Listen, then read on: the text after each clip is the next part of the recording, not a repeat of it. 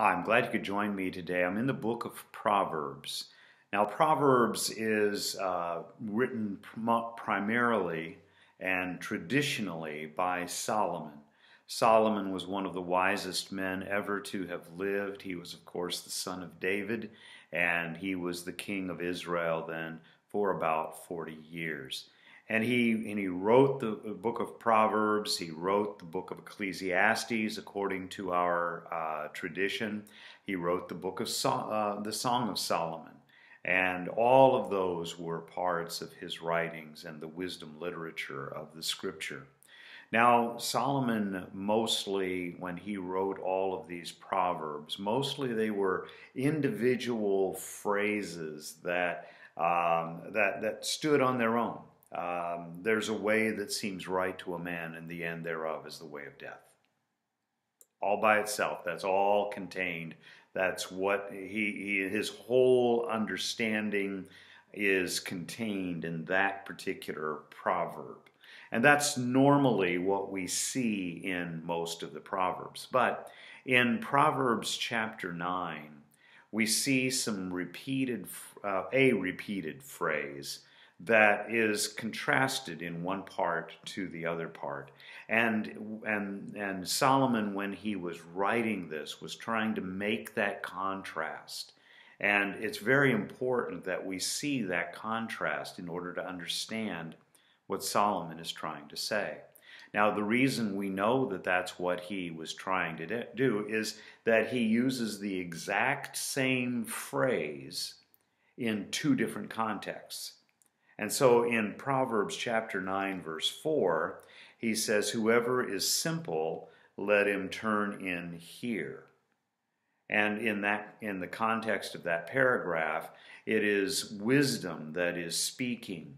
And so he's saying to the people, look, if you want to keep from being simple or naive, then turn and find wisdom here. But later on in the book of, in that same chapter, verse 16 uses the exact same phrase whoever is simple, let him turn in here. Only this time it's being spoken by a woman of folly, an adulteress, a prostitute, if you will. And she is saying, if you're simple, if you're naive, turn in here and I will destroy you. And so, here in, in this particular chapter, Solomon is comparing wisdom with foolishness. And he says, if you're simple, if you need need education, if you need to, uh, if, if, it's your desire to uh, avoid being naive and simple and and foolish, then find wisdom. And whoever is simple turn in and find wisdom. On the other hand, those who are simple, that have no desire to really pursue wisdom, who have who who are just living by the the emotions of the day, who who have no particular desire to understand truth and understand proper um, uh, proper behavior. If you're simple, Turn in here, the, the prostitute says, the woman of, of folly says. And so this particular phrase is used to compare these two wisdom versus foolishness. And now we live in a world in which wisdom is not really understood as having that moral quality that, um, that, that the Proverbs talk about we think that wisdom, somebody is wise if they have lots of degrees behind their name. And, and certainly there are, there are wise qualities that that person has, uh, has accomplished. Uh, the diligence to go through and, and attain the various degrees is a very commendable thing, and that's right, but it's not necessarily wisdom. Solomon puts that moral quality to wisdom and he's and he's comparing that right here.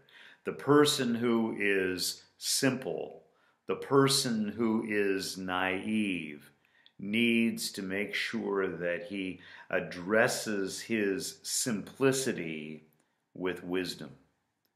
And if he doesn't, then the, the prostitute, the woman of folly, is going to bring him down because he doesn't recognize the wisdom that God has given. We in this generation need to have a better understanding of what wisdom is.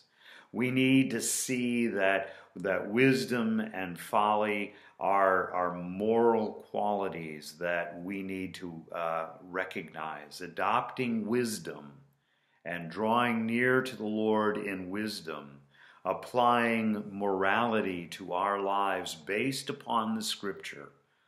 That's what wisdom really is. And you don't have to have the degrees behind your name in order to be a wise person. And if you do have the degrees behind your name, it's no, no insurance that you are wise. But hopefully, it has made sense to you that you need to live your life in a moral and in a proper kind of way. Father, as we bow before you, we thank you for educating us not with books and not with uh, uh, with with classrooms, but thank you for educating us with the truth, with the moral qualities that you apply to our lives day by day. And we ask you to help us to be receptive to these. Help us to listen to your discipline and draw near to you. And in that way, apply wisdom to our lives. Bless us now in Jesus' name. Amen. God bless you. I hope you have a wonderful day.